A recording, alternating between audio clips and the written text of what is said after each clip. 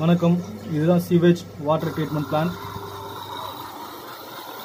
இதில் வந்து receiving chamber screening and grit chamber skimming tank primary settlement tank aeration tank carbon filter and chlorination tank வச்சுட்டு தண்ணி வந்து save பண்ணுறோம் இது எப்படி வந்து ப்யூரிஃபை பண்ணிட்டுன்ட்டு நான் சொல்கிறேன்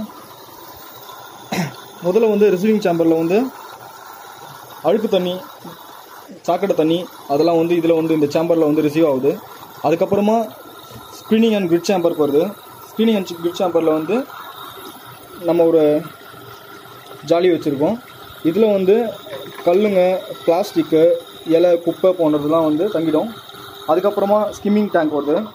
ஸ்கிம்மிங் ஸ்கிம்மிங் டேப்பில் வந்து இந்த மிதக்கக்கூடிய பொருளான எண்ணெய் எண்ணெய் கழிவுகள் எண்ணெய் கசடுகள் அந்த மாதிரி பொருட்கள் அப்புறம் வந்து சின்ன சின்ன மிதக்கக்கூடிய பிளாஸ்டிக் அது எல்லாமே வந்து இந்த டியூப் மூலிமா வெளியே எடுத்துகிட்டு வந்துடுது அதுலேருந்து ஃபில்டர் ஆனதுக்கப்புறம் ப்ரைமரி சென்டிமீட்டர் டேங்க் வருது. இதில் வந்து வண்டல் மண் இந்த மாதிரி மண் துகள்கள் எல்லாமே வந்து இதில் வந்து தங்கிடுது. அதுக்கப்புறமா தான் ஏரியேஷன் டேங்க் வருது ஏரியேஷன் டேங்க்கில் வந்து நான் பபுள்ஸ் வர மாதிரி ஒரு சின்ன ஒரு இது வச்சுருக்கேன்.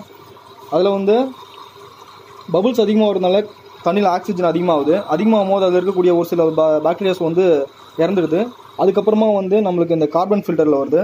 கார்பன் ஃபில்டரில் வரும்போது கார்பனுடைய ஒரு தன்மை என்னென்னா அதுக்குள்ளே வந்து வரக்கூடிய தண்ணியில் இருக்கக்கூடிய எல்லா பாக்டீரியாஸ் நுண்ணுயிர்களும் வந்து அதிலே தங்கக்கூடிய தன்மை இருக்குது ஸோ அது என்ன பண்ணுதுன்னா அந்த தண்ணியில் இறந்து இறந்த பாக்டீரியாவோடைய துகள்கள் எல்லாமே வந்து இதில் ஒட்டிக்குது.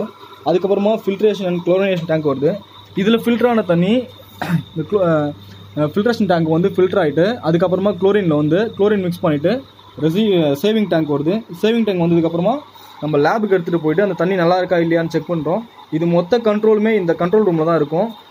ஒரு அளவுக்கு இது ரெசீவிங் சாம்பரில் தண்ணி ஃபுல்லாகிடுச்சு அப்படின்னா கண்ட்ரோல் ரூம் மூலிமா மோட்டார் வந்து ஆஃப் பண்ணிவிட்டு அதுக்கப்புறம் ப்ராசஸிங் முடிஞ்ச உடனே லேபுக்கு வந்துட்டு தண்ணி செக் பண்ணிவிட்டு அதுக்கப்புறமா வந்து சப்ளை பண்ணலாம்.